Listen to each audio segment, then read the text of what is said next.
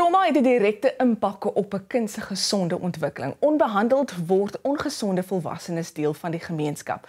Claudia Rood deel met ons vanoggend hoe sy trauma aanspreek. Claudia, baie welkom. Dit is baie lekker om jou hier te hê. Baie dankie, is baie lekker om hier te wees. Jy is tans betrokke by skole en by dagsorgsentrums. Hoekom? Ek dink dat ehm um, ek het in my in my navorsing en in my werk as maatskaplike werker besef dat baie indien die meeste van ons nie het nie 'n idee hoe die brein ontwikkel nie.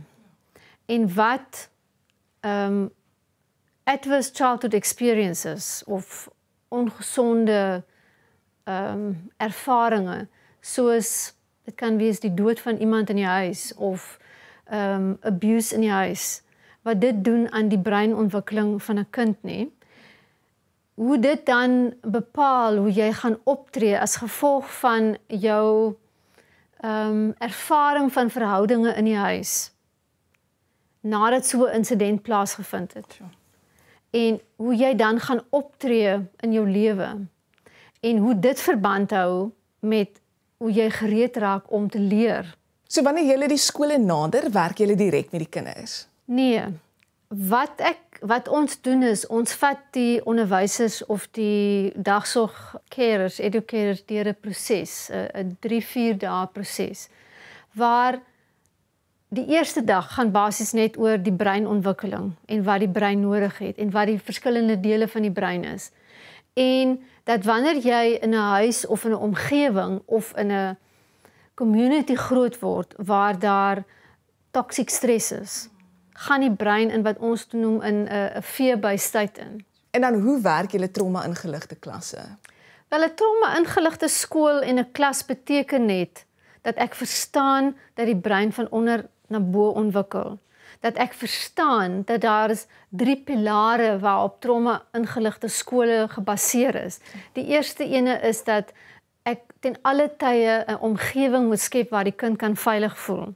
En dan die tweede een is dat jy met die kind moet connect. Ek kan net beïnvloed wanneer ek 'n verhouding het met 'n kind. En dan die derde ene is hoe leer jy dan die kind om hulle emosies te beheer? Net wanneer dit in plek is, kan jy begin om met die kind 'n gesprek te hê om te reason. Het jy al enige terugvoer van onderwysers gehad wat gesê het hierdie is help definitief die klaskamer.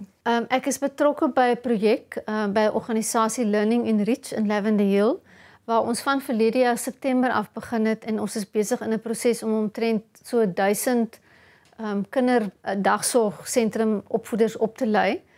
En ja, in hulle eie lewe en in wat hulle ondervind al met die kinders tot dusver.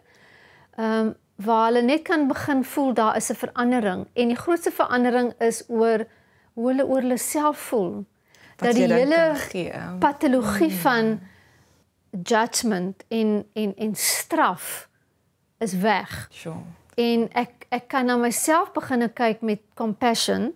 So ek kan anders na die kind kyk en ek kan die vraag begine vra watter boodskap wil die kind se gedrag vir my gee en wat moet ek in myself en in die omgewing van die skool verander om hierdie kind te begin laat veilig voel. Ja, dis baie goed. Claudia, ek wil vir jou baie dankie sê. Dit was lekker om vanoggend saam met jou te kom kuier. Baie dankie. En mense is welkom om vir ons te kontak as hulle wil meer inligting hê.